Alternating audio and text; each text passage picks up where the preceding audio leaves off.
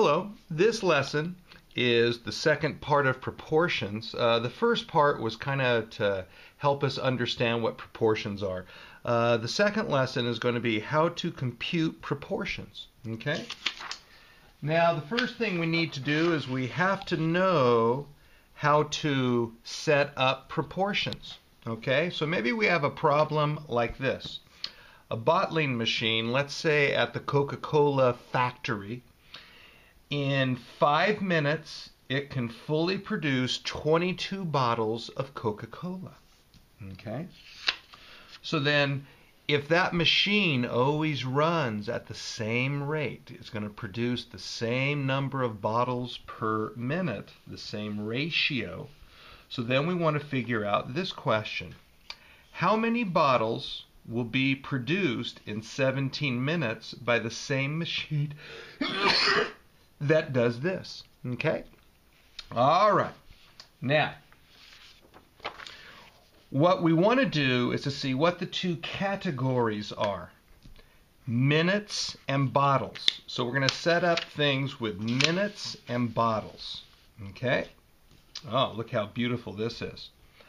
Five minutes produces 22 bottles. How many bottles will be produced in 17 minutes? Notice we have the minutes both on top. Okay? Now we could also write it like this. Instead of the minutes both on top, the minutes can be on the on the left and the bottles on the right. 5 minutes produces 22 bottles. 17 minutes produces how many bottles? Okay? Now remember, in each of these, we can go ahead and cross multiply. So whether you put your categories going across as the same or up and down as the same, you're still going to get the same problem. 5 times x is equal to 22 times 17. Okay? Now, if we want to try to compute that, 5 times x is equal to 22 times 17. When we multiply, we get 5x is equal to 374. To get x by itself, we have to divide this side by 5. 5 divided by 5 is 1. 1 times x is x. But we have to divide both sides by 5. So with our calculator, we divide 374 divided by 5. Okay? And then our x is going to be equal to 74.8 bottles in 22 minutes. Okay? All right? Okay. Now, so that's how you set up problems, but how do you uh, compute the proportions? Now, the first thing we're going to do is we're going to learn how to reduce when the proportions given are really easy. Okay? Now watch this. Let's say we have 10 of something equals 30, x of that first something equals 12. So we say, how does 10 become 30? We multiply by 3. Okay? So what number times 3 is equal to 12? 4. 4 is x. Was that real easy? Yes. Okay. Now let's go to this second one here. Um, we can not only go up and down, but we can go across. Horizontal reducing. How does 6 become 30? We multiply by 5. Or we could go this way. How does 30 become 6? We divide by 5. So what's 45 divide by 5? 9. See how easy that is? Let's look, look at this one. How does 12 become 24? We multiply by 2. What's 15 times 2? X is 30. See how easy that, that is?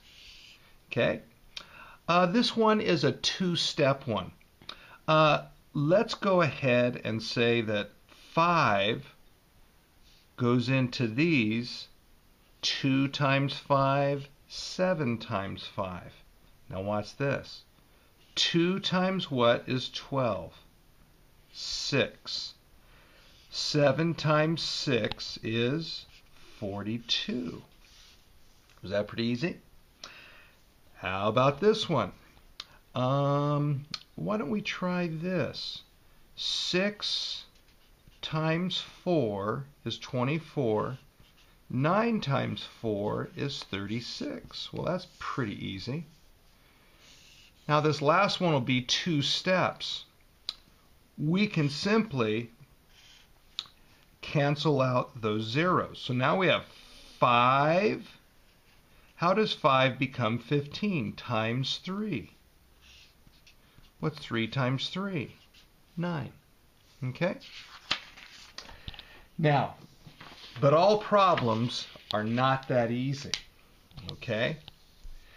Now, if you cannot reduce like we did on the last ones, then we're going to cross multiply. Okay? So, watch what, what we do here. We're going to cross multiply just like this. 5 times x is equal to 8 times 16. 5x is equal to 128. And when we divide by 5, we get x is equal to 25.6. Now let's see if this makes sense. Uh, 16 is a little more than 5 times 3. 5 times 3 is 15, and 16 is a little more than that. What's 8 times 3?